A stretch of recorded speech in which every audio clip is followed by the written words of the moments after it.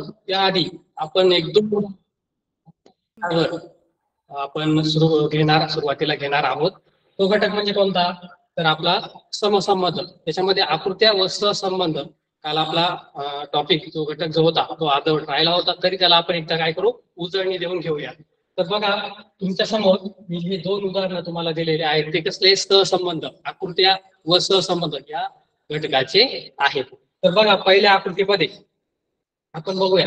पहिल्या आकृतीमध्ये आणि दुसऱ्या आकृतीमध्ये काय बदल आहे? त्यामधील काय संबंध आहे? हे आपल्याला बघायचं आहे. तर बघूया. आता पहिल्या आकृती ही चौ चौरसाची आकृती आहे. चौरसाच्या आकृतीमध्ये छोटे छोटे आपल्याला चार चिन्ह आपल्याला चार कोपऱ्याला दिसत आहे तर बघा हे गुणाकाराचं जे चिन्ह आहे ते काय होत आहे बघा पुढच्या आकृतीमध्ये विरुद्ध बाजूला आहे बघा. गुणाकाराचं हे जे चिन्ह आहे ते कुठे जाते विरुद्ध बाजूला गेल्याचं आपल्याला दिसत आहे. त्यानंतर आपण बघूया हे वर्तुळाचं जे चिन्ह आहे ते सुद्धा काय झालंय? विरुद्ध बाजूला आलेलं वर्तुळाचं चिन्ह कुठं आलेलं आहे? विरुद्ध बाजूला आलेलं आहे. त्यानंतर आपण खालच्या दोन चिन्हांचा विचार करू. पहिलं प्रथमतः त्रिकोण. त्रिकोण बघा दुसऱ्या आकृतीमध्ये हा त्रिकोण कुठं जातोय? वरच्या दिशेचा. कुठे जातोय? वरच्या दिशेत जाताना आपल्याला दिसत आहे. त्यानंतर हा चौरस हा सुद्धा काय होतोय? वरच्या दिशेत जाताना आपल्याला दिसत आहे. तर असा हा संबंध पहिल्या व दुसऱ्या आकृतीमध्ये आहे. आता याचा संबंध या संबंधावरून आपल्याला तिसऱ्या आकृतीचा संबंध चौथ्या आकृतीशी लावायचा आहे जी तुम्हाला पर्यायामधून निवडायची आहे. तर आपण बघूया या आकृतीमध्ये पहिला जो पहिलं जे चिन्ह दिलेलं आहे ते कोणतं आहे? तर स्टार. स्टार आपल्याला माहिती आहे. तर स्टारचं चिन्ह हे काय होणार आहे? त्याच्या विरुद्ध बाजूला जाणार पुढे जाणार आहे विरुद्ध बाजूला जाणार. त्यानंतर उजव्या बाजूला आपल्याला बघा अधिक चिन्ह दिलेलं आहे. ते सुद्धा काय होणार आहे? मग सहसंबंधावरून ते विरुद्ध बाजूला जाणार आहे. त्यानंतर उरलेलं चिन्ह बघा खाली दिसते तुम्हाला अर्धगोल. अर्धगोलाचं चिन्ह कुठं जाणार आहे? तर वर वरच्या दिशेने जाणार आहे. त्यानंतर हे पतंगाकृती. तुम्हाला एक चिन्ह दिसत असेल हे सुद्धा काय होणार आहे? वरती जाणार आहे. अशा पद्धतीने जर आपण सहसंबंध पाहिला तर आपल्याला जी मिळणारी जी आकृती आहे कशी असेल? तर बघा या पद्धतीने. हे अर्धवर्तुळ वरती गेलं त्याच्यानंतर हा सुद्धा काय झालेला आहे? वरती गेलेला आहे. त्यानंतर बघा हा स्टार जो आहे तो विरुद्ध बाजूला गेलेला आहे. आणि त्यानंतर हे अधिकचं चिन्ह हे कुठं आले या बाजूला आलेलं आहे. अशी ही उत्तर आकृती आपल्याला यामधून मिळाली आहे. त्यानंतर आपण दुसऱ्या उदाहरणाकडे जाऊयात. दुसऱ्या उदाहरणामध्ये बघा एक वर्तुळ दिलेलं आहे आणि त्यामध्ये दोन बाणाचे चिन्ह आहे पण ते वेगवेगळे एकाला बघा एक टोकदार बाण आहे दिसते तुम्हाला टोक असलेला. आणि एकाला काय दिलेलं वर्तुळ दिलेलं काय दिलेलं आहे? वर्तुळ दिलेलं आहे. तर आपण जर निरीक्षण केलं आकृती क्रमांक एक व दोन तर काय आपल्या लक्षात येतंय? तर बघा हा जो बाण आहे तो काय होतोय? तर नव्वद अंशामध्ये काय होतोय? घड्याळाच्या विरुद्ध दिशेने काय होतोय? तो फिरताना आपल्याला दिसत आहे. घड्याळाच्या विरुद्ध दिशेने बघा दिसते तुम्हाला? इथून तर कळाला तो या बाजूला आलेला आहे. त्यानंतर आपण बघू वर्तुळ असलेला भाग तो काय होतोय तो घड्याळाच्या दिशेने नव्वद अंशामध्ये नव्वद अंशाचा कोण दिसतोय तुम्हाला मध्ये? हा तर ह्या नव्वद अंशामध्ये तो काय होतोय? घड्याळाच्या दिशेने हा फिरताना दिसत आहे. दिसतोय आपल्याला इकडे आलेला? दिसतोय? हा इकडे आलेला दिसतोय का? हा. तर आपण बघूया आकृती क्रमांक तीन या सहसंबंधाचा अनुसरून आकृती क्रमांक तीन मध्ये आपल्याला चार आकृती क्रमांक चार मिळवण्यासाठी काय बदल करावे लागतील? तर बघू आपण वर्तुळ असलेला बाण काय होतोय घड्याळाच्या दिशेने फिरला जातोय. मग काय करू आपण? या वर्तुळ असलेल्या बाणाला फिरू घड्याळाच्या दिशेने नव्वद अंशामध्ये. त्याच्यानंतर जो बाण असलेला टोकदार बाण जो आहे तो काय होतोय? घड्याळाच्या विरुद्ध दिशेने काय होतोय? फिरतोय. घड्याळाच्या विरुद्ध दिशेने काय होतोय? नव्वद अंशामध्ये फिरतोय मग येणारी उत्तर आकृती कशी असेल तर बघा.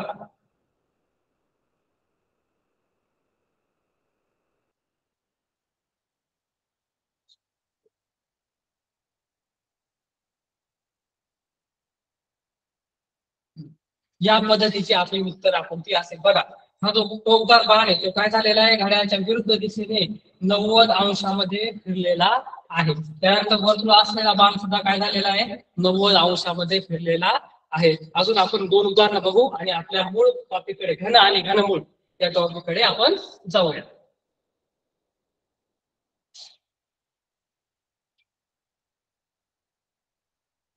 दोन शाब्दिक उदाहरणे तुम्हाला स्थळ संबंधावरती मी देतो बघा.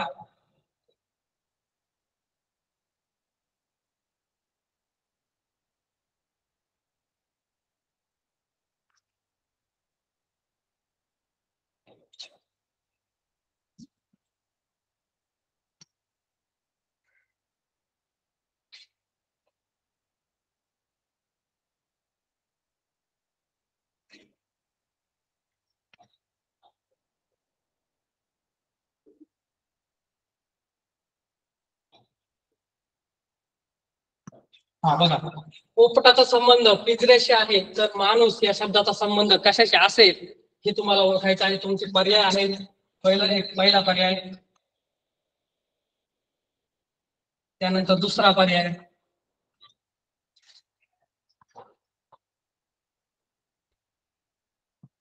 त्यानंतर तिसरा पर्याय.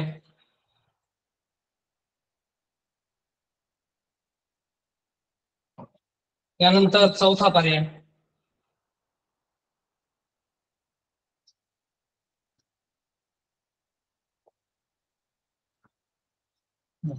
तर बघा तुमचा पर्याय क्रमांक एक घर आहे. पर्याय क्रमांक दोन जंगल.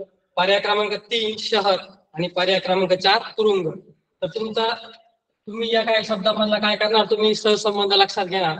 पोपट हा कुठं राहतो? पिंजऱ्यामध्ये. तर माणूस कुठे राहील? तर बऱ्याचशा विद्यार्थ्यांचं असं मत असेल का घर हे याचं उत्तर असेल. पण घर हे याचं उत्तर नाही. का नाही ते आपण बघूया. पोपट हा नि- निसर्गता कुठं राहतो? निसर्गामध्ये राहतो. कुठं राहतो? निसर्गामध्ये. पण आपण काय करतो? पोपट या पक्षाला आपण काय म्हणतो? पिंजऱ्यामध्ये कोणतो काय करतो? पिंजऱ्यामध्ये कोणतो परंतु माणूस माणसाला कुठं कोंडलं जातं? तर त्याचं उत्तर आहे तुरुंग. कुठं? तुरुंगामध्ये कोंडलं जातं. बघा प्रश्न साधा आहे. पण त्याच्यामध्ये त्याचा तर्क आपल्याला नीट लावला गेला पाहिजे. बरोबर? आता पुढच्या उदाहरणाकडे आपण जाऊ. लक्षात आलं तुमच्या पोपट पिंजरा. तर माणूस काय? तुरुंग पुढच्या प्रश्नाकडे जाऊ आपण.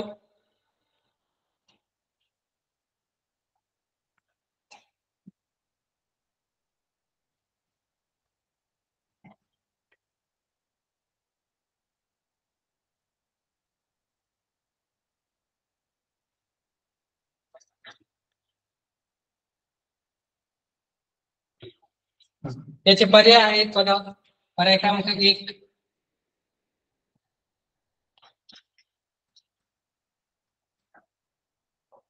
आजोबा पर्याय क्रमांक दोन बाबा पर्याय क्रमांक तीन आणि पर्याय क्रमांक चार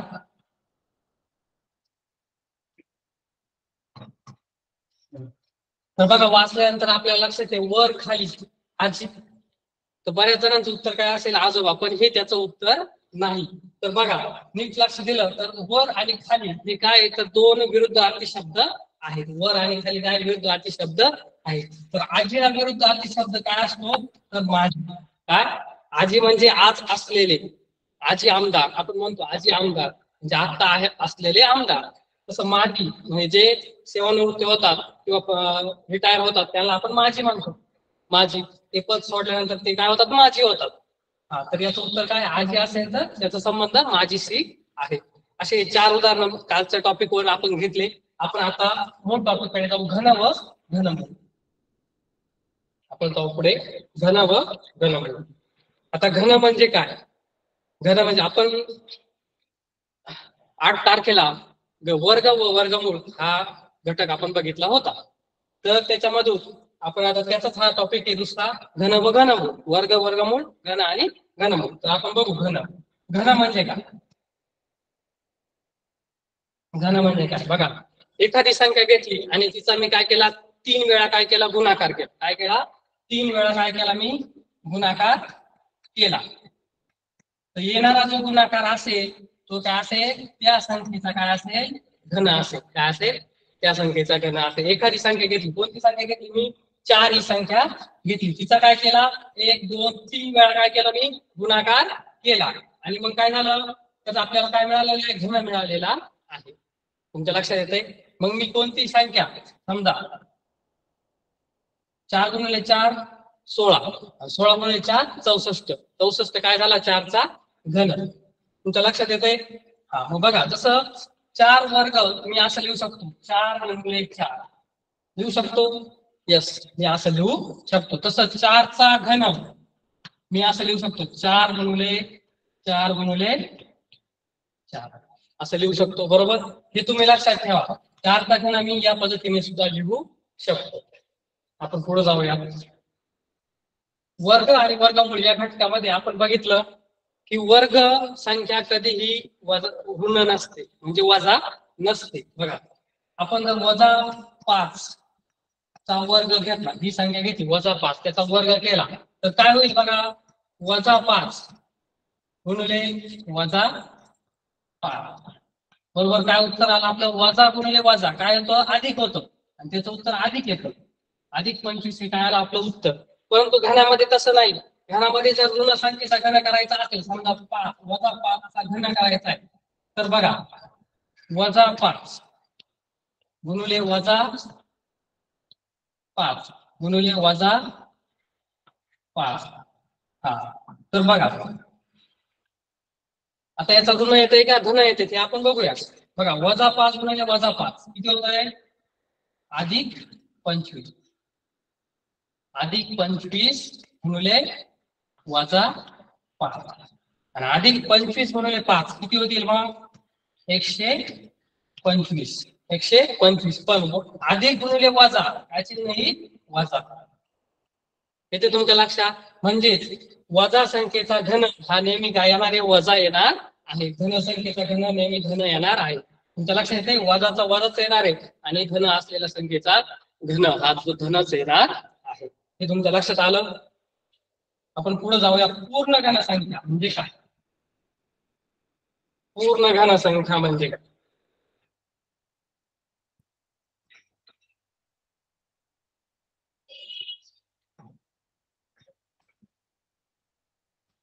पूर्ण घन संख्या म्हणजे काय?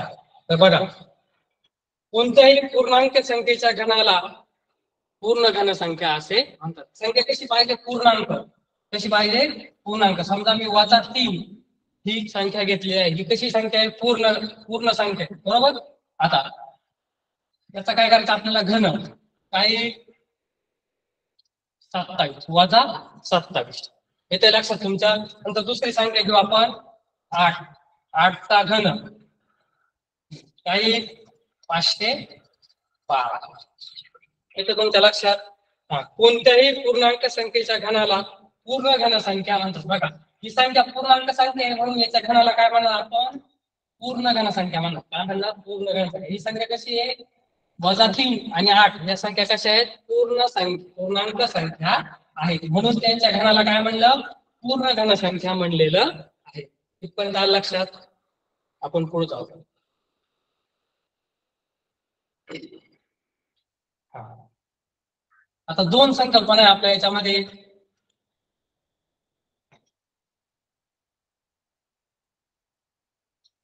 संख्येचा घन करणे.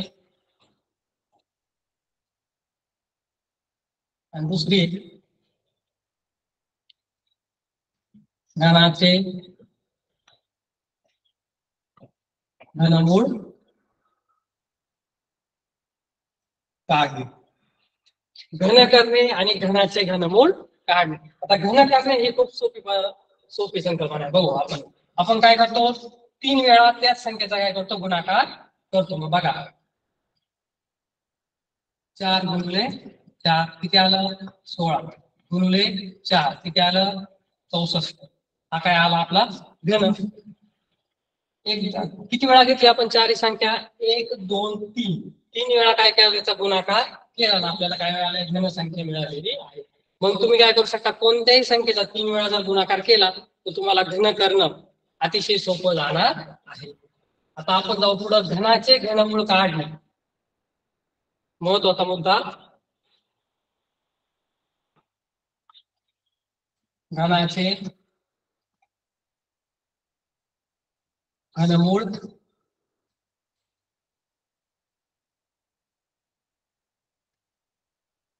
काढणे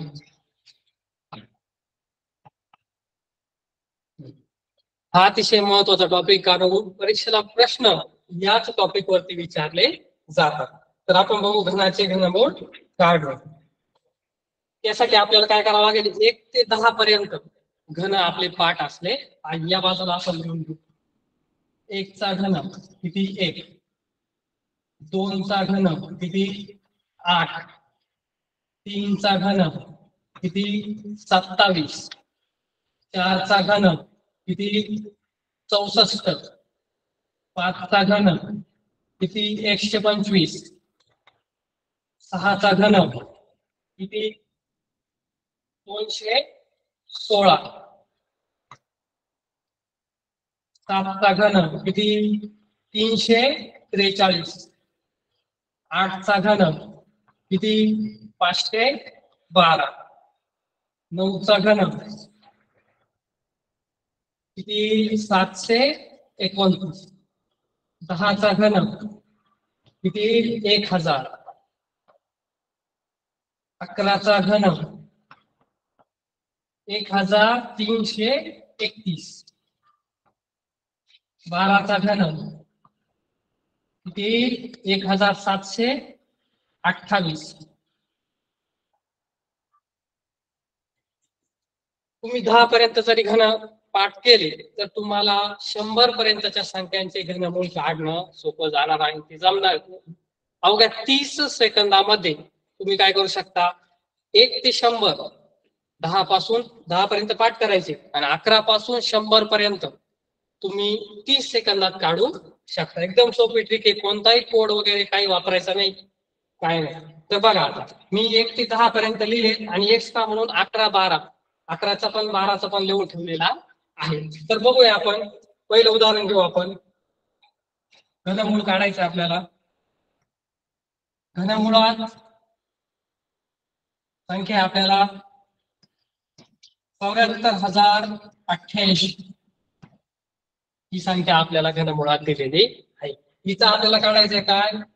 घनमूळ. काय काढायचं आपल्याला? घनमूळ काढायचं आहे. तर पहिल्या सर्वात पहिली स्टेप आपली कोणती असली पाहिजे? तर या संख्येचे भाग करणे. किती भाग करायचे आपल्याला बघा?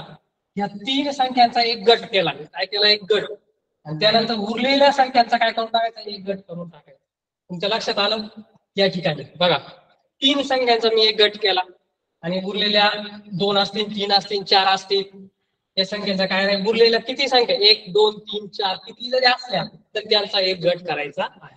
ही पहिली स्टेप आपली असेल. दुसरी स्टेप असेल या तीन संख्यांमधला एकच स्थानचा जो काही अंक आहे त्याचा काय करायचा तुम्हाला? घेऊन किती आहे? पाचशे बारा. इथपर्यंत समजलं? संख्येचे दोन भाग केले. कसे केले? तर पहिले तीन अंक त्याचा एक भाग केला आणि उरलेल्या सगळ्या अंकांचा एक भाग केलेला आहे. त्यामधून आपण काय घेतलं? पहिल्या भागामधून एकच स्थानचा अंकाचा मी घन करून घेतलेला आहे. बरोबर? आणि ज्या घनाचा जो काय एक स्थानचा अंक आहे किती? दोन. तो काय असेल माझं? एकच स्थानचं उत्तर असेल. दोन अंकी संख्या असणार आहे म्हणून. आपलं किती येणार दोन अंकी. इथे एक अंक येणार आहे इथे एक अंक. त्यापैकी पहिला अंक मिळाला आपल्याला. काय केलं आपण? एकच स्थानचा अंक घेतला त्याचा घन केला. त्याचा शेवटचा अंक एकच स्थानचा अंक घेऊन तो लिहिला. इथपर्यंत ओके? एकदम सोपं बरं. जो काही तीन संख्यांचा गट केला त्याचा एकच स्थानचा अंक घेतला त्याचा काय केला? घन केला. घनाच्या शेवटचा अंक म्हणजे एकच स्थानचा अंक घेऊन तिथे लिहिला आहे. आता आपण पुढे जाऊया. आता जे काही दुसऱ्या गटाकडे येऊ दुसऱ्या गटामध्ये बघा चौऱ्याहत्तर ही संख्या आपल्याला दिलेली आहे. चौऱ्याहत्तर ही संख्या कोणत्या घनसंख्येच्या दरम्यान येते बघा? चौसष्ट आणि एकशे पंचवीस या दोन घनसंख्येच्या दरम्यान चौऱ्याहत्तर ही संख्या येते. मग बघू मी लिहून घेतो बघा चारचा घन बरोबर चौसष्ट आणि पाचचा घन बरोबर एकशे पंचवीस. यांच्या दरम्यान कोणती संख्या येते? चौऱ्याहत्तर. कोणती संख्या येते? चौऱ्याहत्तर. येते ना एवढे दोन कळले तुम्हाला? हा एक घनमूळ कळलाय हा एक घनमूळ. याचा घनमूळ हा याचा घनमूळ पाच. बरोबर? चौसष्टचा घनमूळ चार एकशे पंचवीसचा घनमूळ पाच. बरोबर? यातला लहान कोणता आहे तर चार. कोणता लहान आहे? चार. म्हणून चार ही संख्या असेल या ठिकाणी असेल आणि आपलं उत्तर आलं बेचाळीस. काय उत्तर आलं? बेचाळीस. या संख्येचं घनमूळ किती आलं? बेचाळीस. एकदम सोपं आहे. बघा पहिला अंक कसा आला? तर एकच स्थानचा अंक घेतला त्याचा घन केला.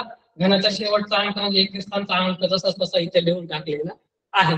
त्यानंतर जे काय उरलेला गट आहे चौऱ्याहत्तर हे कोणत्या दोन घनसंख्येच्या दरम्यान येत आहे ते आपल्याला कळलं.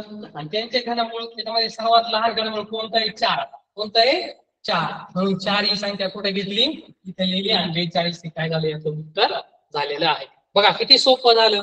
काही तुम्हाला अवयव पाडायची पद्धत वापरावी लागली का? नाही. बघा कोड वगैरे काही दोन असेल तर तीन घ्या. आणि चार असेल तर पाच घ्या. असं काही आपण केलेलं नाही. तर बघा आता हे आपल्याला पहिलं उदाहरण त्याच्यानंतर दुसरं उदाहरण आपण घेऊ. दुसरं उदाहरण आहे आपल्या घनमुळात. नऊ हजार दोनशे एकसष्ट. नऊ हजार दोनशे एकसष्ट. त्याचं घनमुळ आपण पुढे लिहिणार आहोत. बरोबर? आता याचं काय करणार आपण? परत काय करणार? दोन भाग करणार. पहिल्या तीन संख्यांचा एक भाग. पहिल्या तीन संख्यांचा एक भाग आणि दुसरं उरलेल्या संख्यांचा एक भाग. आता उरलेला फक्त नऊ आहे म्हणून नऊ काय झाला? एक भाग झालेला आहे. तर बघूयात आपण एक. तर एकचं काय केलं घनमूळ? एकचं घनमूळ एक. म्हणजे आपल्याला पहिली संख्या मिळाली एक. कोणती संख्या मिळाली? एक. स्थानची संख्या मिळाली एक. आता आपल्याला काय करायचं नऊ. नऊ हा कोणत्या घनांच्या दरम्यान येतो? एक आणि आठच्या दरम्यान. किती? एक आणि आठच्या दरम्यान आपल्याला नऊ सॉरी दोन आणि तीनच्या दरम्यान आपल्याला काय मिळते? नऊ ही संख्या मिळते बघा. आठ आणि तीनचा घन सत्तावीस. यामध्ये नऊ ही संख्या त्यामध्ये लहान घनमूळ कोणतं आहे? तीन एका दोन आहे तर दोन. इथं काय असं पाहिजे? दोन. तर एकवीस आपलं याचं उत्तर आलेलं आहे. आपण पुढच्या उदाहरणाकडे जाऊया.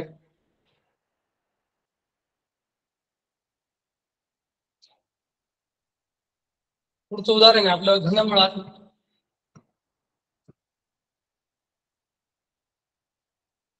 पाच लाख एकाहत्तर हजार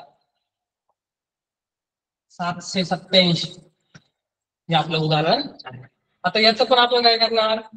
गट करून घेणार. पहिल्या तीन संख्याचा एक गट आणि उरलेल्या संख्येचा दुसरा गट. आपण उत्तर पुढे लिहिणार आहोत. आता पहिल्या गटातल्या काय केलं? मी एकच स्थानचा संख्या घेतली. सात. सातचा केला घन. सातचा घन आला माझा तीनशे त्रेचाळीस. हा तीन घेतला तो एकच स्थानी लिहिला. बरोबर? आता पुढं पाचशे एकाहत्तर. पाचशे एकाहत्तर ही संख्या कुठे येते बघा? पाचशे बारा व सातशे एकोणतीस या दोन्हीच्या दरम्यान येते. लिहून घेऊ आपण. आठचा घन बरोबर पाचशे बारा आणि नऊचा घन बरोबर सातशे एकोणतीस. बरोबर? हा. आता या दोन्हीच्या दरम्यान पाचशे एकाहत्तर ही संख्या येते. मग आपण बघूया याच्यामध्ये लहान घन मूळ घनमूळ संख्या कोणती आहे? नऊ एक आठ आहे. ही घनसंख्या पाचशे बारा आणि सातशे एकोणतीस काय झाल्या? आठ आणि नऊच्या घनसंख्या. आणि पाचशे बाराचं घनमूळ आठ आणि सातशे एकोणतीसचं घनमूळ नऊ. तर लहान संख्या कोणती? तर आठ. मग आठ काय असेल? दशक स्थानी असेल. आणि आपलं उत्तर येईल त्र्याऐंशी. काय उत्तर येईल पाच लाख एकाहत्तर हजार सातशे सत्याऐंशी. एकच घनमुळे याचं घनमूळ काय? त्र्याऐंशी. काय घनमूळ काय? त्र्याऐंशी. आपण पुढे जाऊयात. पुढचं उदाहरण पाहूयात. हळूहळू आपला काय होतोय? वेग वाढतोय आणि वेळ कमी होत चाललेला आहे.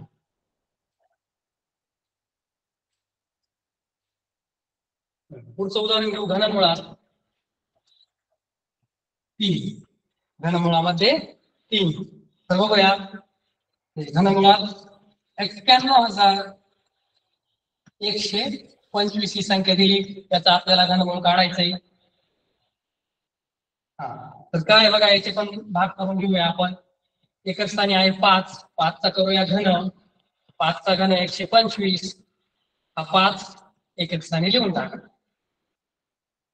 लिहिला त्यानंतर आता एक्क्याण्णव ही संख्या काय दुसऱ्या भागामध्ये आहे एक्क्याण्णव ही संख्या कोणत्या दोन घन संख्येच्या दरम्यान येते? बघा एक्क्याण्णव चौसष्ट आणि एकशे पंचवीस या दरम्यान आपल्याला संख्या येते. तर चौसष्ट यामध्ये ही संख्या आहे. चौसष्ट आणि पाचचा घन एकशे पंचवीस. बरोबर?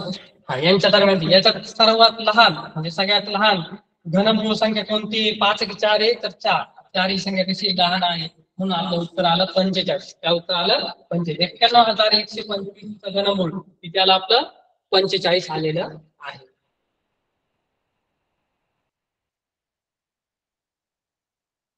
पुढचं उदाहरण घेऊया. घनमुळात एकवीस हजार नऊशे बावन्न. एकवीस हजार नऊशे बावन्न ही संख्या आहे. याचे पण भाग करून घेतले आपण. दोन भाग केले. केल्यानंतर एकच स्थानी आपल्याला दोन ही संख्या आहे. दोनचा घन केला आपल्याला आठ. आणि आठ हे एकच स्थानी आपण लिहिलेलं आहे.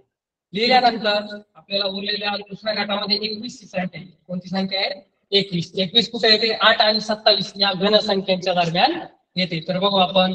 दोनचा घन बरोबर आठ आणि तीनचा घन बरोबर सत्तावीस या दरम्यान येते याच्यामध्ये सर्वात लहान म्हणजे सगळ्यात लहान संख्या कोणती आहे? घनमूळ संख्या तीन का दोन? दोन. दोन्ही संख्या लहान आहे. काय उत्तर आलं आपलं? दोन्ही दिल्यानंतर अठ्ठावीस हे आपलं घनमूळ आलेलं आहे. त्यानंतर पुढे जाऊयात आपण. पुढचं उदाहरण. घनमुळामध्ये सात लाख अठ्याहत्तर हजार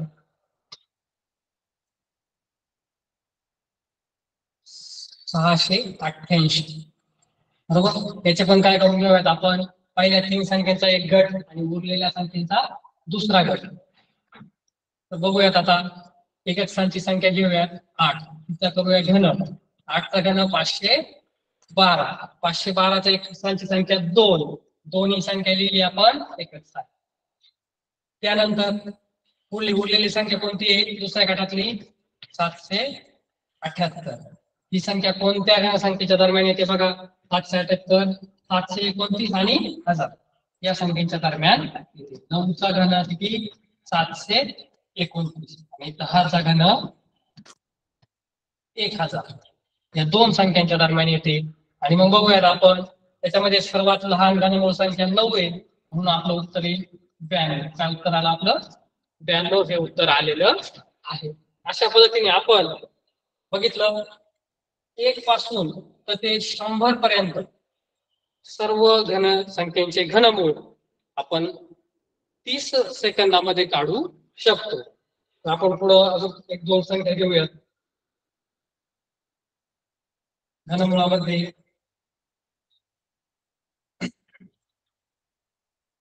दोन लाख पाच हजार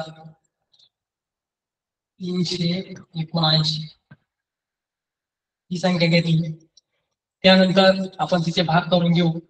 भाग केल्यानंतर एकच स्थानी नऊ ही संख्या आहे. नऊचा घन किती आला आपला?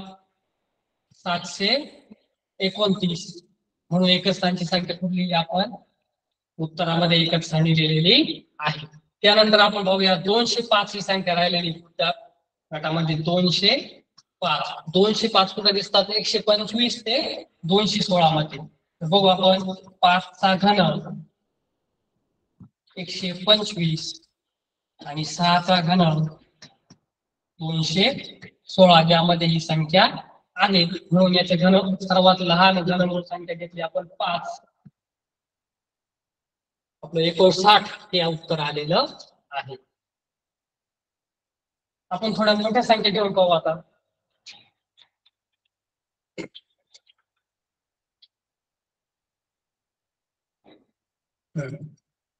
तर आपली संख्या आहे बारा लाख एकोणसाठ हजार सातशे बारा. ही जी संख्या आहे हिचे पण आपण काय करू? भाग करू. पहिल्या तीन संख्येचे एक भाग आणि दुसऱ्या उरलेल्या चार संख्या दिसतात आपल्याला उरलेल्या. त्यांचा एक गट करू. बरोबर? हा आता बघू. शेवटचा अंक आहे दोन. दोनचा केला घन. दोनचा घन आला आठ. म्हणून आपली संख्या आली आठ. त्यानंतर एक हजार दोनशे एकोणसाठ ही संख्या कोणत्या दोन घनसंख्येच्या दरम्यान आहे? तर दहा आणि अकरा. दहाचा घन बरोबर एक हजार. आणि अकराचा घन बरोबर एक हजार तीनशे एकतीस. या दोन संख्यांच्या दरम्यान कोणती संख्या आपली? एक हजार दोनशे एकोणसाठ ही संख्या या दोन संख्येच्या दरम्यान आहे. मग याच्यामध्ये सगळ्यात लहान घनमूळ कोणते? तर अकरा आणि दहा पैकी दहा. म्हणून दहा ही संख्या इथे लिहिली तर बघा एकशे आठ ह्या आपलं या संख्येचं काय आले घनमूळ आलेलं आहे. मग या पद्धतीने जर तुमचे वीस पर्यंत पाठ असतील तर तुम्ही दोनशे पर्यंत संख्यांचे घनमूळ घन करू घनापासून घनमूळ काढू शकता. तर बघा आपण अजून एक घेऊ आणि पुढच्या घटकाकडे जाऊ द्या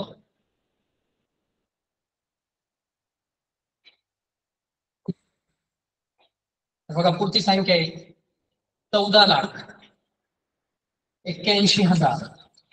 पाचशे चौवेचाळीस तीन अंकांचा एक गट केला आणि बाकी उरलेल्या चार अंकाचा एक गट केला.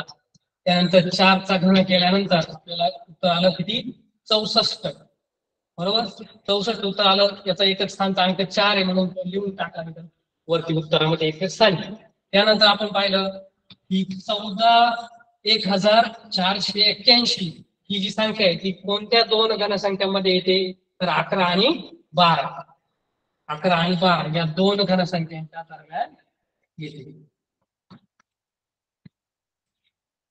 आणि बारा घन सतरा अठ्ठावीस. या दोन संख्यांच्या दरम्यान येते. याच्यामध्ये लहान कोण आहे?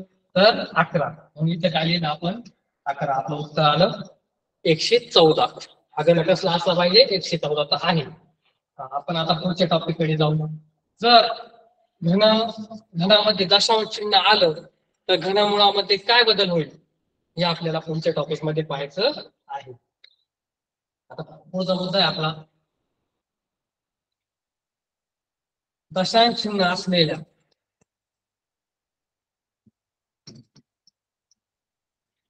दशांश चिन्ह असलेल्या संख्यांचा घन करणे.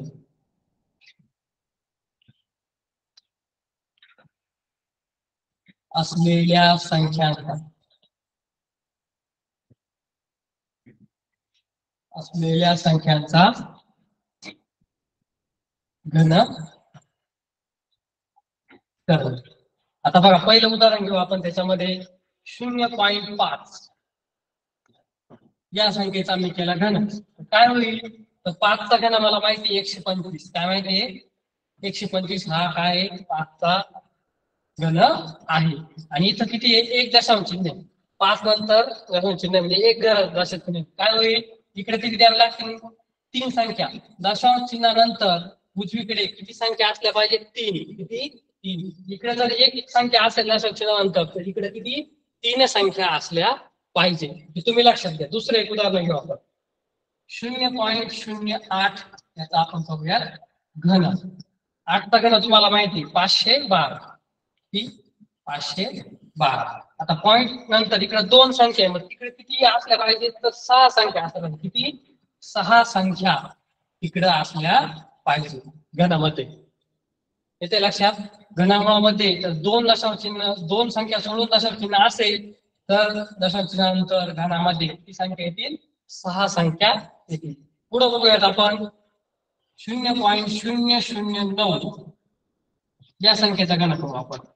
नऊचा गण मला माहिती आहे. किती? सातशे एकोणतीस. किती? सातशे एकोणतीस. इकडे सातशे एकोणतीस. आता इथे जर तीन तीन संख्या आहेत दशांश चिन्हानंतर उजवीकडे तीन संख्या आहेत इकडे किती असल्या पाहिजे? तर नऊ असल्या पाहिजे. किती असल्या पाहिजे? नऊ तर बघा एक दोन तीन एक दोन तीन बघा एक दोन तीन चार पाच सहा सात आठ नऊ दशांश चिन्हानंतर उजवीकडे किती संख्या आहे? तर नऊ संख्या आहे. अशा पद्धतीने दशांश चिन्ह असलेल्या संख्येचा घन आपल्याला करता येतो. आता तुम्हाला समजा जर घन दिले आणि तुम्हाला सांगितलं घनमूळ पण संख्या कशी आहे? दशांश चिन्ह असली. तर बघूया आपण. आपण एक दोन तीन अंक देऊयात पहिलं उदाहरण देऊयात घनमुळामध्ये घनमुळामध्ये शून्य पॉईंट दोनशे सोळा ही संख्या. शून्य पॉईंट दोनशे. आता दोनशे सोळा कशाचा दोन दोनशे सोळाचा घनमूळ किती? आहे तर सहा. किती आहे सहा. आणि इकडे किती दशांश चिन्ह आहे बघा. दशांश आता एक दोन तीन. म्हणून इकडे किती यायला पाहिजे? एक. इकडे किती येणार? एक. बघा इथं किती होतं? इकडे एक असं तिकडे तीन येत होते दशांश चिन्हानंतर संख्या. आता इकडे तीन संख्या आहे म्हणून इकडे किती आले? एक. एवढं लक्षात घ्या. दुसरं उदाहरण पाहू घनमुळामध्ये शून्य पॉईंट शून्य शून्य शून्य एकशे पंचवीस. एकशे पंचवीस. मग आता बघा इकडं दशांश चिन्हानंतर उजवीकडे गेल्यानंतर किती संख्या एक दोन तीन चार पाच सहा. सहा संख्या म्हणून तिकडे किती असली पाहिजे? दोन संख्या असल्या पाहिजे. किती संख्या असल्या पाहिजे? दोन संख्या. दशांश चिन्हानंतर तिकडे असल्या पाहिजे. बरोबर? एकशे पंचवीसचा कसा एकशे पंचवीसचा घन म्हणजे किती? पाच. बरोबर? हा इकडे किती संख्या आहे दशांश नंतर सहा म्हणून तिकडे किती? दोन. दशांश दोन संख्या. तिकडे उदाहरण बघू. तिसरं उदाहरण आहे आपलं. शून्य पॉईंट शून्य शून्य शून्य. सातशे एकोणतीस. सातशे एकोणतीसचं घनमूळ किती तुम्हाला माहिती आहे? सातशे एकोणतीसचं घनमूळ नऊ आहे. हे लिहून टाकू आपण. आता दशांश चिन्हानंतर किती संख्या बघू आपण? एक दोन तीन चार पाच सहा सात आठ नऊ. नऊ संख्या म्हणजे दशांश चिन्हात इकडं तीन संख्या आल्या पाहिजे बघा. इथं समजा मी दशांश दिलं तर त्याच्यानंतर किती संख्या आल्या पाहिजे? एक दोन आणि तीन. एक दोन तीन. लक्षात घ्या तुमच्या? तीन संख्या असेल दशांश चिन्हानंतर तर इकडे किती आले पाहिजे? एक. सहा असतील तर दोन आणि नऊ असतील तर तीन. या पटीमध्ये दशांश चिन्ह तुम्हाला द्यायचे आहे. आता दशांश चिन्ह तुम्हाला समजलं? आपण आता उदाहरणांकडे जाऊया.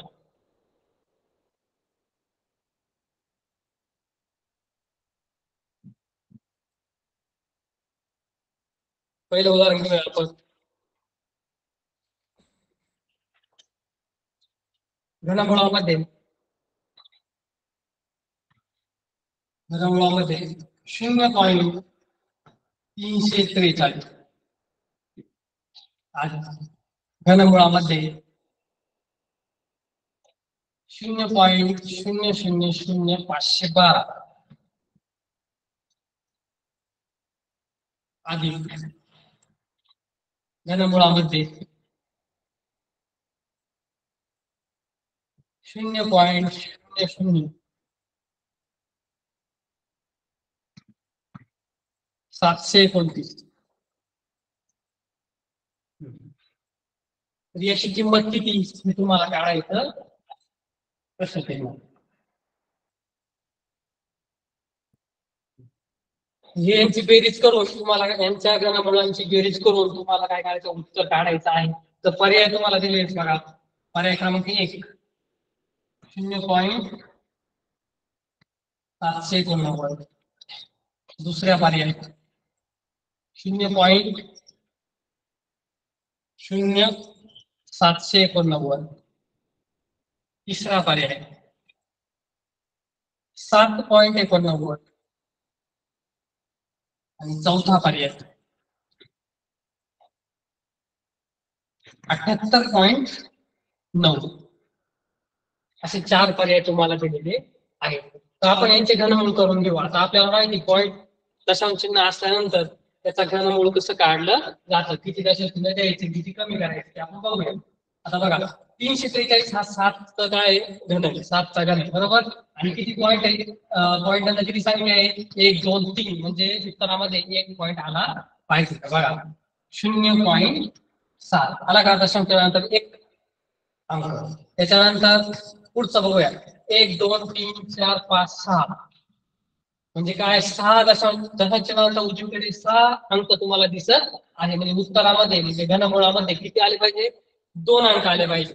तर पाचशे बारा हे आठचं घनमूळ आहे कशाचं आठ. बघा आता. शून्य पॉईंट शून्य आठ. हे उत्तर आलं. आठ इथे सहा अंक आहे दशांच्या नंतर म्हणून इथे किती आले? दोन. दशांच्या नंतर किती अंक आले? दोन अंक आले. अधिक. आता इथं बघा. नऊ अंक आहे दशांच्या नंतर नऊ. सातशे एकोणतीस हा नऊचा काय आहे? घन आहे. बरोबर? नऊ. आणि याच्यानंतर मग किती अंक यायला पाहिजे इथे? शून्य पॉईंट शून्य शून्य नऊ. आले का दशांच्या नंतर तीन एक दोन. तीन अंक आले. आले. आता यांची काय करायची तुम्हाला? बेरीज. ही किती आहे बघा? शून्य पॉईंट सातशे एकोणनव्वद.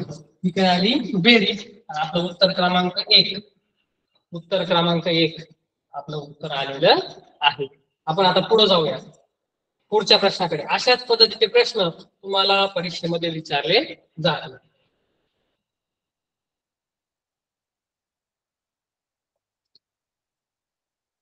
पुढचं उदाहरण आहे आपलं. बघा. एकशे पस्तीस गुणवले पंचवीस. बरोबर किती दिले यांनी?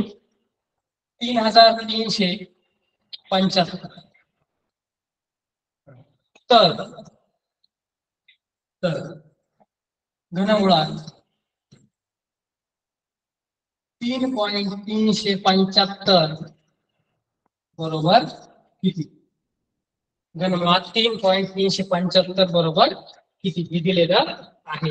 याचा आपल्या उदाहरणाशी काही संबंध नाही. आपल्याला फक्त काय काढायचं घनमुळामध्ये तीन पॉईंट तीनशे पंच्याहत्तरचं उत्तर. पर्याय क्रमांक तुम्हाला पर्याय. पर्याय क्रमांक एक. बघा. एक पॉईंट दोन. पर्याय क्रमांक दोन.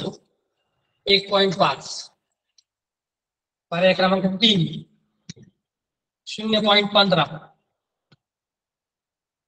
पर्याय क्रमांक चार. एक पॉइंट आठ. आता बघा. आता आपल्याला जे आपण घनमूळ काढण्याची ट्रिक आपण जी पाहिली ती आपण वापरून घेऊया. कशासाठी वापरायची पहिली? हा दशांश चिन्ह आहे. हे आपण विसरू थोड्या वेळ तीन हजार तीनशे पंच्याहत्तर. हे संख्येत आपण पहिलं काय करू? घनमूळ काढून घेऊ. बघा इथं याचे तीन दोन भाग करू. हा पहिल्या भागाला शेवटी काय? एक स्थानी पाच. पाचचं केला घन. एकशे पंचवीस. त्याचा एक स्थानचा अंक घेतला. बरोबर? त्यानंतर तीन. तीन ही संख्या कुठे आहे? एकचा घन आणि दोनचा घन. या दोन संख्यांच्या दरम्यान एकचा घन एक दोनचा घन आठ. यांच्या दरम्यान तीन ही संख्या आहे. म्हणजे याच्यामधून आपल्याला सर्वात लहान घनमूळ एक एक म्हणून एक. आपलं उत्तर आलंय तीन हजार तीनशे पंच्याहत्तर उत्तर दिले घनमूळ पंधरा. हे आपल्याला कळालेलं आहे. यावरून आपण उदाहरण सोडूया उदाहरणामध्ये बघा. घनमुळात तीन पॉईंट तीन पॉईंट तीनशे पंच्याहत्तर असं दिलेलं आणि याचं उत्तर आपल्याला काढायचं इथं जर तीन दशांच्या नंतर तीन संख्या असतील तर आपल्या उत्तरामध्ये एक दशांशच्या नंतर एक संख्या असली पाहिजे. तर बघू आपलं एक पॉइंट पाच. दिसते तुम्हाला दशांश नंतर एक संख्या एक संख्या दिसते. बरोबर? एक पॉइंट पाच हे आपलं उत्तर आलेलं आहे. पर्याय क्रमांक दोन हे आपलं उत्तर आहे. पुढच्या उदाहरणाकडे जाऊयात.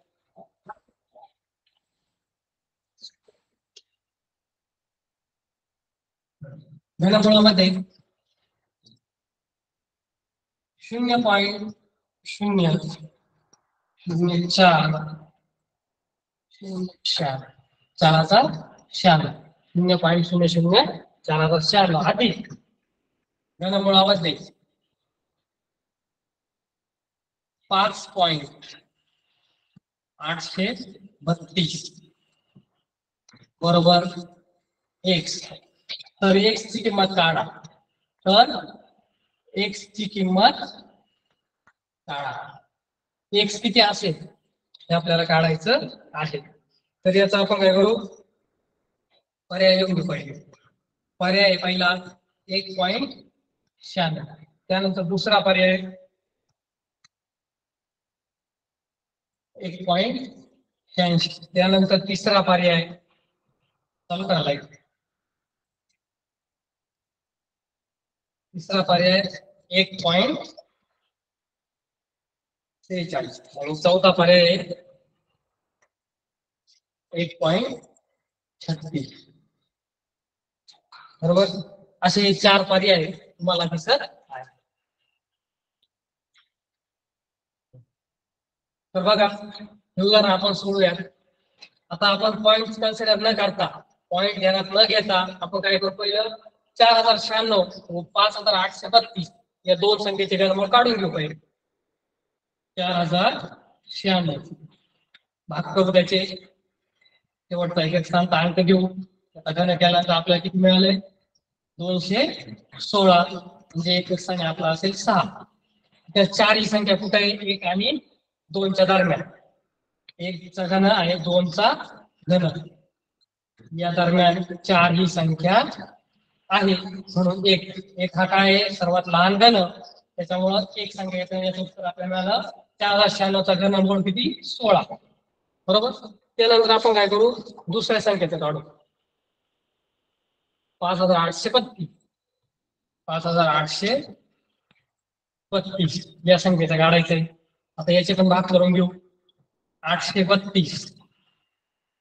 सॉरी दोनचा घन करू. किती? आठ. एकच स्थानी असेल. आठ त्याच्यानंतर पाच ही संख्या कुठे? एक आणि दोनच्या मध्ये असणार आहे. म्हणून इथे सुद्धा एक येणार आहे. बरोबर? हा. तर बघा आता दोन्ही संख्यांचे घनमूळ आपल्याला मिळालेले आहे. तर आपण पुढे जाऊया. आता काय करायचं? हे घनमूळ तर आपल्याला मिळाले. फक्त आता दशांश चिन्हाचा विषय राहिलेला आहे. आता बघा इथं किती दशांश चिन्हानंतर किती संख्या एक दोन तीन चार पाच सहा. मग आपल्या किती उत्तरात आले पाहिजे? तर दोन सहा असतील तर दोन यायला पाहिजे. काय यायला पाहिजे शून्य पॉईंट सोळा. आधी. आता इथं किती दिसत आहे तीन. म्हणजे इथं किती दशांश नंतर एक संख्या आली पाहिजे. म्हणजे अठरा आहे तर किती यायला पाहिजे? एक पॉईंट आठ. बरोबर? हा. किती बेरीज यायला पाहिजे याची? बाकारा बेरीज. एक पॉईंट शहाण्णव. उत्तर क्रमांक एक. आपलं उत्तर आलेलं आहे. त्यानंतर आपण पुढच्या उदाहरणाकडे जाऊया.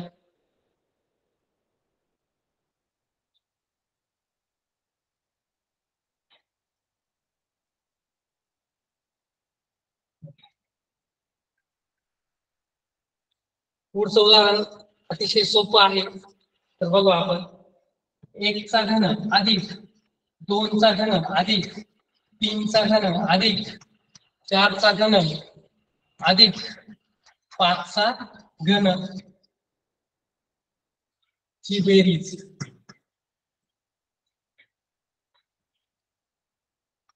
ती बेरीज. कोणत्या संख्येचा वर्ग असेल.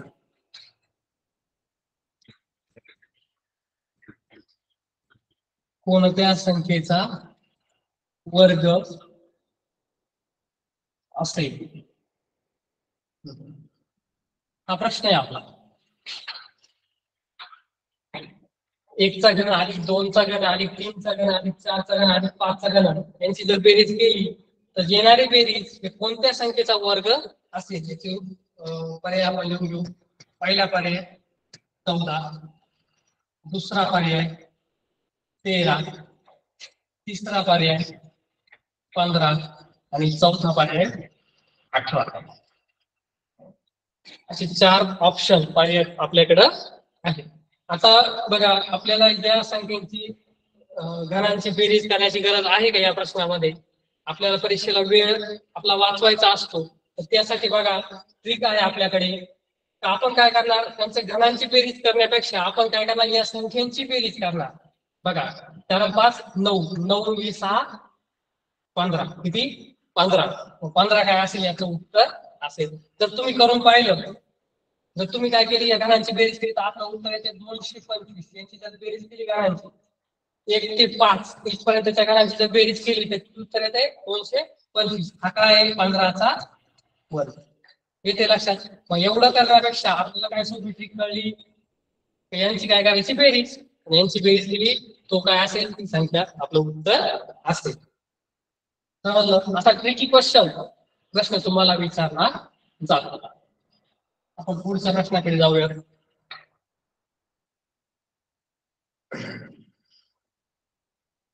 पुढचा प्रश्न आहे घनमुळामध्ये.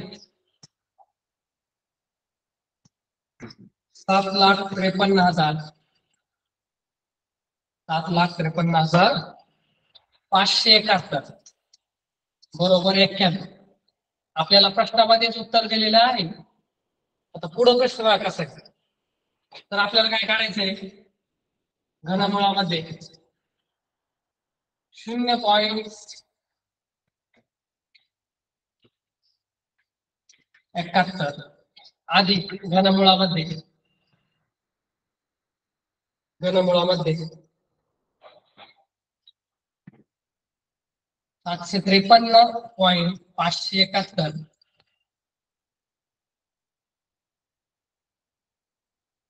अधिक घनमुळामध्ये घनमुळामध्ये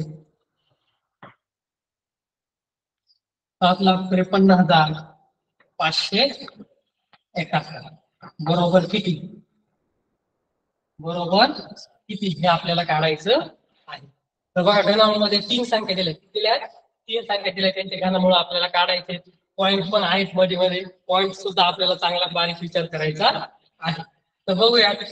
इथं किती पॉईंट दिसतं आपल्याला? पॉईंट नंतर एक दोन तीन चार पाच सहा संख्या दिसतात म्हणजे उत्तरामध्ये उत्तर आपल्याला माहिती याचा घन याचं घनमूळ एक्क्याण्णव हे आपल्याला माहीत आहे. पण आता इथं पॉईंट आल्यामुळं याचं उत्तर किती होईल? शून्य पॉईंट एक्क्याण्णव कारण हो, नंतर किती संख्या दोन संख्या अधिक त्यानंतर ती संख्या एक दोन तीन म्हणून काय एक संख्या संख्या आली एक संख्या आली बरोबर आता पुढं दशांश उत्तर किती बरोबर किती काढायचं आपल्याला? याचं किती उत्तर येईल? बेरीज जर केली आपण किती उत्तर येईल? एकशे एक पॉइंट शून्य एक. हे उत्तर आपलं येणार आहे. बघा खूप सोपे प्रश्न असतात. फक्त दशक चिन्हाचा वापर आणि ते दशक चिन्ह देताना आपण योग्य ती काळजी घेतली पाहिजे. पुढच्या उदाहरणाकडे जाऊया.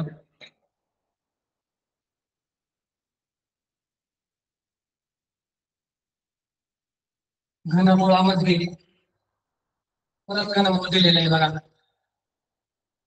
आणि आतमध्ये संख्या दिलेली आहे. शून्य पॉईंट दोनशे सोळा. आणि कंसाचा काय केलाय सहावा घात. दिसतंय का? कंसाचा सहावा घात हे आपल्याकडे उत्तर आहे. त्याला पर्याय आहेत बघा. पर्याय क्रमांक एक शून्य पॉईंट सव्वीस. पर्याय क्रमांक दोन शून्य पॉईंट तेहतीस पर्याय क्रमांक तीन. शून्य पॉईंट छत्तीस पर्याय क्रमांक चार. शून्य पॉईंट अडतीस. असे चार पर्याय आपल्याला दिले. तर आपल्याला सोडून घेऊयात बघा. पहिल्यांदा काय करावं लागेल आपल्याला? घनमूळ काढावं लागेल. बघा. याचं घनमूळ किती येईल आपलं? दोनशे सोळा. आपल्याला माहिती कशाचं घनमूळ आहे? सहाच. दोनशे सोळा हजार दोन दोनशे सोळा हे काय आहे? सहाचं सहाचा घन आहे. आणि दोनशे सोळाचा घनमूळ किती आहे? सहा. तर उत्तर लिहू दशांशनंतर किती संख्या? एक दोन तीन. तीन संख्या म्हणल्यावर एक दशांशनंतर एक संख्या असली पाहिजे. तर बघा शून्य पॉईंट सहा. आणि कंसाचा सहावा का लक्षात. आता पुढं सोडूयात आपण आता घनमुळा घनमुळाचं चिन्ह जर किती तीन. म्हणजे तीन दिसत आहे तुम्हाला. हे आपण कसे लिहू शकतो? तर बघा. शून्य पॉईंट सहा. एकशे तीन. आणि मग कांसाचा सहावा घात दिसतं की मला तुम्हाला एकशे तीन आणि कांसाचा बाहेर सहावा घात. आता हे परत सोडूया आपण. बघा. काय होईल एकशे तीन घातांकाच्या नियमानुसार बघा. शून्य पॉईंट सहा. एकशे तीन म्हणजे सहा. तीन एक तीन तीन दोन सहा. म्हणून काय आलं? शून्य पॉईंट सहा चा वर्ग. आणि शून्य पॉईंट सहाचा जर वर्ग केला शून्य पॉईंट सहाचा वर्ग केला किती आपलं? शून्य पॉईंट छत्तीस. शून्य पॉईंट छत्तीस. हे आपलं उत्तर आलेलं आहे. शून्य पॉईंट छत्तीस पर्याय क्रमांक तीन. पर्याय क्रमांक तीन हे योग्य उत्तर आहे किती वेळ राहिला?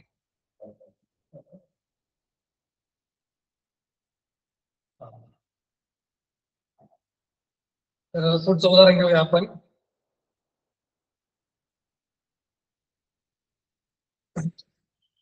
घनमुळामध्ये एक हजार सातशे अठ्ठावीस आधी घनमुळामध्ये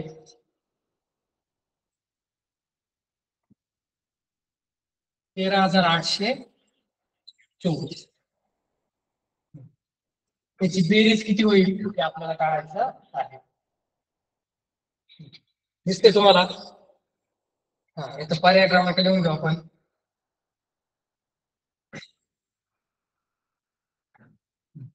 याला पण पुढं काय वर्गमूळ आहे? दिसते तुम्हाला? या दोन्ही काय बाहेर काय वर्गमूळ? वर्गमुळात काय घनमुळात एक हजार सातशे अठ्ठावीस अधिक घनमुळात तेरा हजार आठशे चोवीस. पुढं पुढे बघूया आपण. आता आपण काय करूया? त्याच्यामध्ये जास्त चिन्ह नाही यांचे काय करून घेऊया? आपण घनमूळ काढून घेऊया. बघा. एक हजार सातशे अठ्ठावीस चं घनमूळ आपल्याला माहिती बारा किती आहे? बारा. वर्गमुळात किती आला? बारा. याचं घनमूळ काढलं इथं बारा म्हणजे लिहिले हा त्याच्यानंतर आपण याचं काढून घेऊया. तेरा हजार आठशे चोवीस. त्याचा दोन भाग करू पहिल्या तीन संख्येचा एक भाग नंतरच्या उरलेल्या संख्येचा एक भाग. त्यानंतर एकक स्थानची संख्या घेऊयात. तिचा करूयात घन तिचा घन केल्यानंतर आपल्याला मिळालं चौसष्ट. तिचा घन मिळालं चौसष्ट. चौसष्ट एक स्थानचा अंक किती? तर चार. त्याच्यानंतर उरलेल्या संख्या बघू आपण. तेरा आहे त्यामध्ये तेरा हे कुठं असते? तर दोनचा घन. आठ आणि तीनचा घन. किती? सत्तावीस. या दोन घनांच्या दरम्यान ही तेरा ही संख्या आहे. तेरा ही संख्या या दोन संख्येच्या दरम्यान असेल तर काय होईल? हे घनमुळांचं सर्वात लहान घनमुळ घेणार आपण फक्त तीन आहे का दोन तर दोन. मग काय असेल? दोन. मग आपलं उत्तर काय आलं? या संख्येचं घनमूळ काय आलं? तर चोवीस. अधिक करून काय लिहू? चोवीस घेऊ तर यांची करूयात आपण बेरीज. काय करूयात? बेरीज. आपलं उत्तर किती आलं? छत्तीस. किती उत्तर आलं? छत्तीस. हा. तर आता आपल्याला माहिती आहे वर्गमुळात छत्तीस आले याचं जर वर्गमूळ काढून घेतलं तर आपलं किती उत्तर येईल? सहा. किती उत्तर येईल? सहा. पर्याय क्रमांक सहा जो असेल पर्यायामध्ये सहा तो आपला काय असेल योग्य पर्याय असेल.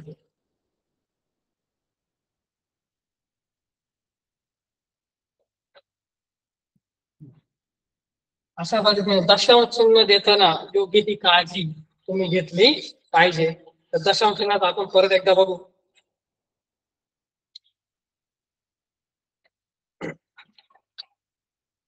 बघा शून्य पॉईंट पाच. घन केल्यानंतर याचा घन पहिला लिहून घेऊ आपण. किती आहे? पाचचा घन एकशे पंचवीस. इकडे जर दशांशानंतर एक संख्या असेल तर घन करताना काय करावं लागेल? तर तीन संख्यानंतर संख्येच्या आधी आपल्याला दशांशाने दिलं पाहिजे दशांशाच्या उजवीकडे किती संख्या असल्या पाहिजे? तर तीन. किती संख्या असल्या पाहिजे? इथं किती आहे? एक. तर इथं किती असल्या पाहिजे? तीन. येते लक्षात. हा. जर आपण उलट करायचंय बघा. घनमूळ काढायचे इथं काय केलं? घन केला आपण. आता घनमूळ काढायचे आपण शून्य पॉईंट दोनशे सोळा. हा. दोनशे सोळा कशाचं घन घनमूळ येते आपल्याला माहिती. घन आहे सहाचा घन आहे. दोनशे सोळा. आणि दोनशेचं घनमूळ किती आहे? सहा. तर सहा युद्ध आपल्याला माहिती आहे. आता दशांश चिन्ह बघा. दशांश चिन्हानंतर तीन अंक दिसतात तुम्हाला. उजवीकडे किती अंक दिसतात? तीन. म्हणून इकडे किती येतील? तर एक. दशांश किती अंक येतील? एक. समजते तुम्हाला? वरती काय केलंय आपण? तर काय केलंय? त्या संख्येचा घन केलेला आहे. पाचचा घन एकशे पंचवीस केलाय. पॉईंट नंतर एक संख्या आहे, इकडे किती दिल्या? पॉईंट नंतर तीन संख्या किती दिल्या? तीन संख्या त्याच्यानंतर इथं बघा. घन घनमूळ करताना घनमूळ करताना बघा पॉईंट नंतर जर तीन संख्या असतील. तर पॉईंट नंतर दिली आपण एक संख्या. त्याचे लक्षात? तीन. तुमच्या लक्षात येते शेवटचा एक मुद्दा तुम्हाला सांगतो. आपण ट्रिकनुसार बऱ्याच संख्यांचे घनमूळ काढून घेतले. आता मी काही संख्या लिहितो.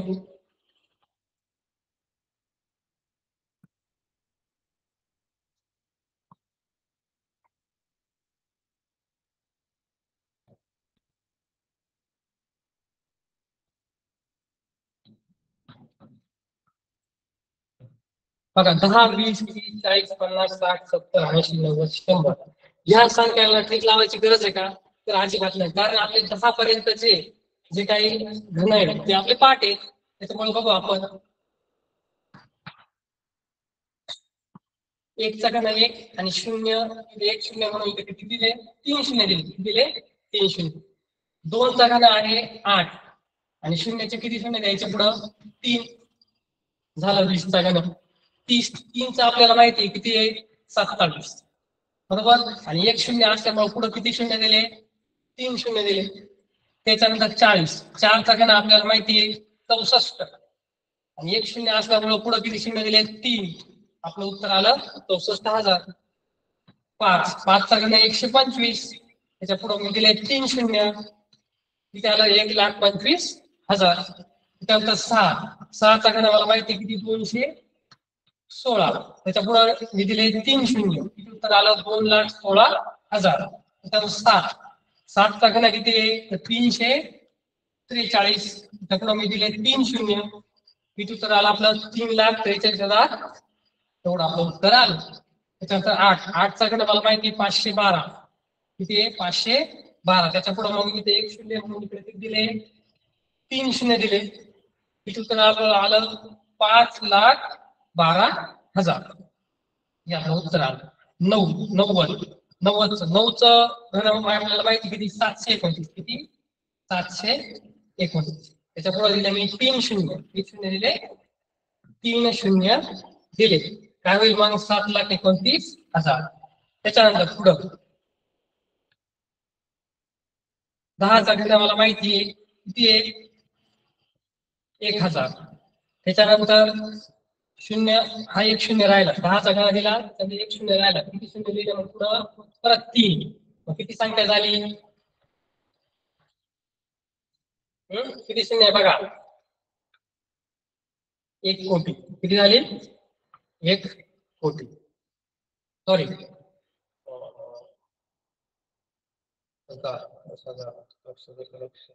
बरोबर. अशा पद्धतीने असं शून्य असलेल्या संख्यांची सुद्धा तुम्हाला न ट्रिक वापरा ट्रिक न वापरता काढता येऊ अशा पद्धतीने आज आपला हा टॉपिक घन आणि घनमूळ आपण अभ्यासलेला आहे. कोणालाही काही अडचण शंका नसेल अशी मी अपेक्षा बाळगतो आणि आजचा हा सेशन आपला इथे संपला. असं जाहीर करतो. थँक्यू